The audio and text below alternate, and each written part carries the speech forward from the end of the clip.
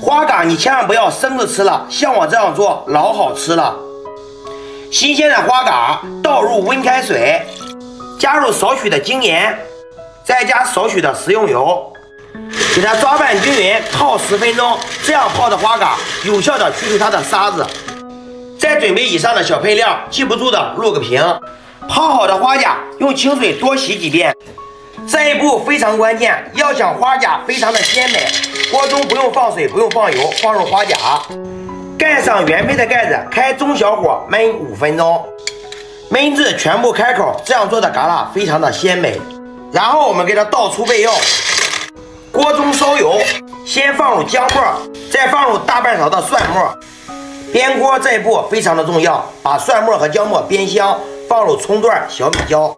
然后倒入蛤蜊和蛤蜊汤，少来点提鲜的蚝油，来少许的盐、鸡精、胡椒粉调味儿，最后给它翻炒均匀。